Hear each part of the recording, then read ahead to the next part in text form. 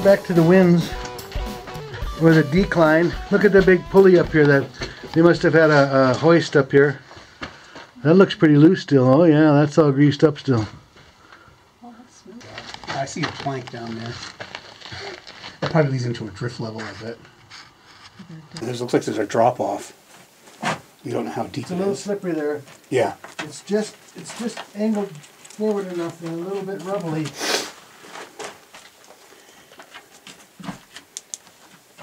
Is it collapsy? Um, collapsy. Frank, you're teasing me now. No, I want to collapse, you know. Frank's teasing me about my use of the word collapsy. No, but it's slippery. Is that a drift level? Where that plank goes across? A little lower here.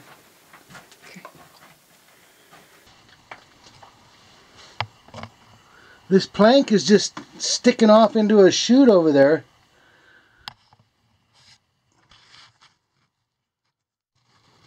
There's a little storage area here. Yeah, they've got some pipe stored in here and some hose.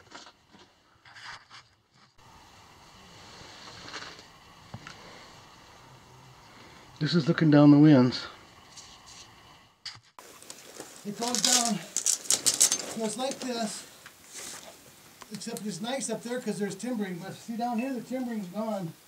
Well, some, down a ways it is, but can you see the plank way down there? No. Let me see if we can- There's another plank like this. This one's just sitting in a chute. I don't know why this is even here. But there's another another plank right there. See the tracks go across a bridge down there. You see that?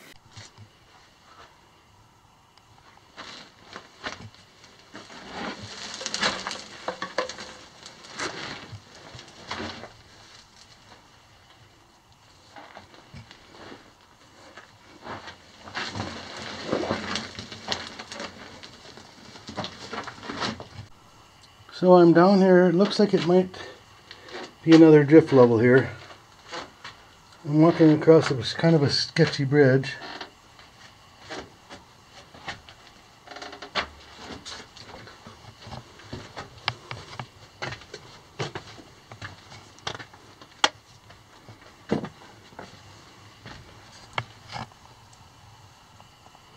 There's a ladder down into another stope or something.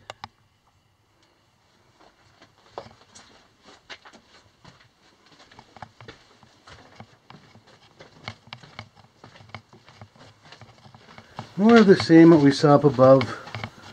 Chutes. Ladders. Into kind of a cool vein here and a work platform.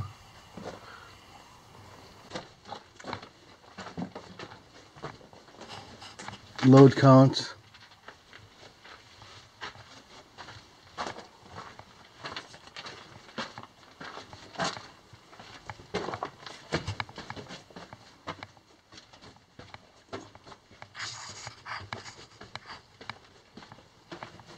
I'm kind of zipping through here because Frank and Julie are up there waiting for me. Really hot back in here, really white. Another huge chute.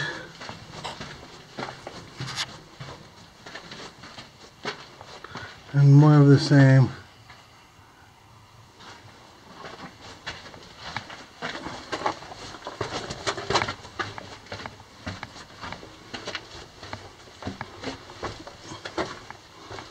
That's the end of this.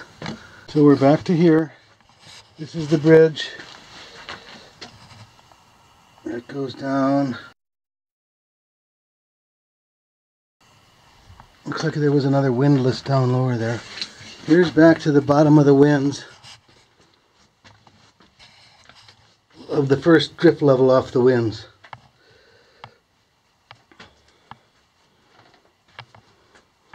The wind keeps going, but I'm not going to go down there.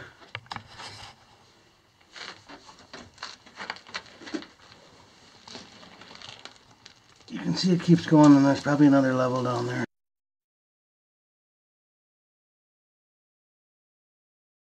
There's no ladders. Uh, there's a ladder going down, but it was broken off halfway.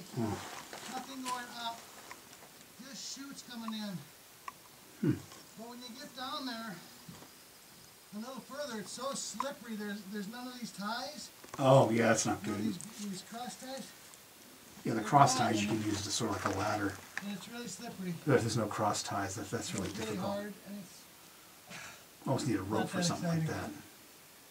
that. Mm-hmm.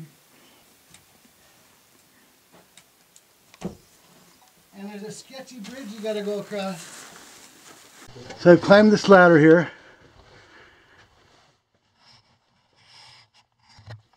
I'm trying to video and climb at the same time. There's a stope over here.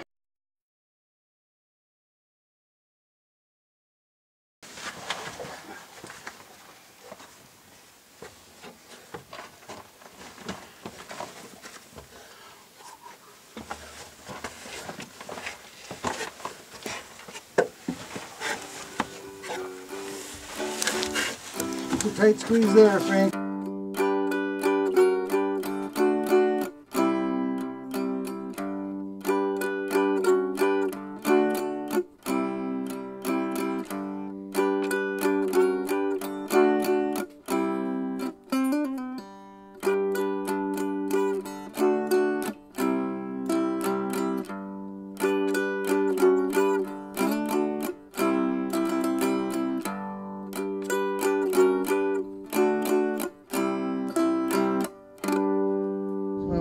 Side quest here on our way back to the car from the mine. And I saw this little milling operation up here, this tailings here. And there's a leaching tank up above it. And I think there's a tram over here too. Here's a huge half of a wheel. So it looks like this was probably a leaching tank for a cyanide operation and not sure what these were. Whew. More stuff. Let's go look over here.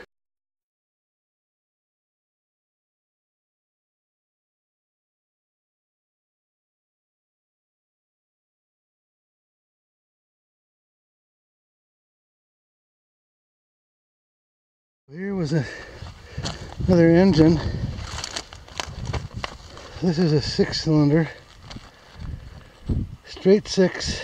So there must have been, I don't exactly know how this all worked here, but that was some kind of milling operation. This might have been another tram here too.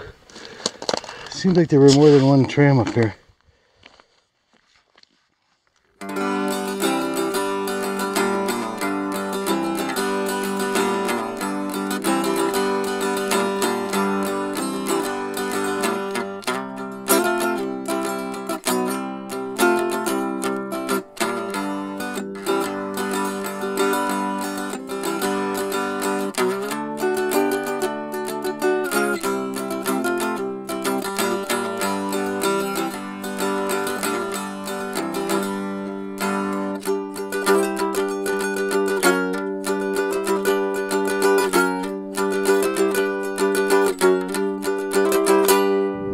We are at the mill.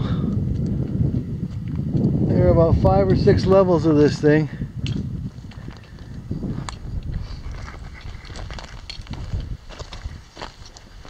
Pretty crazy.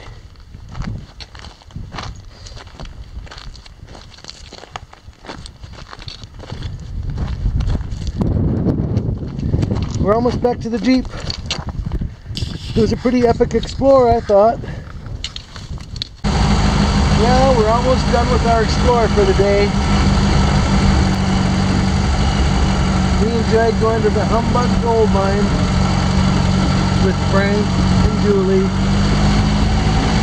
And it was a pretty good hike up there, that's for sure.